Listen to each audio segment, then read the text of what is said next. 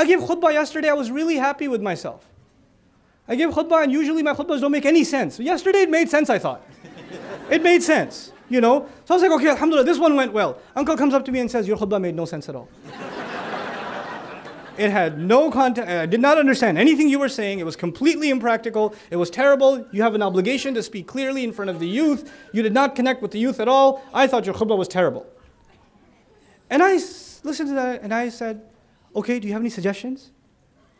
And he said, Yeah, I have lots of suggestions. And my family was waiting downstairs. They're in the car, kids getting cranky and all that. I sat with the uncle for 30 minutes and he gave me suggestions and I wrote them. I literally wrote them, I put them in my phone, I kind of want to save them, and I have them. And I disagree with some of them, but I agree with some of them. You have to learn to take criticism. It's okay. I did not say, Excuse me, are you on YouTube? you know. no. You know. Guys, don't get heated when somebody corrects you. Chill out. Just accept it. Take it.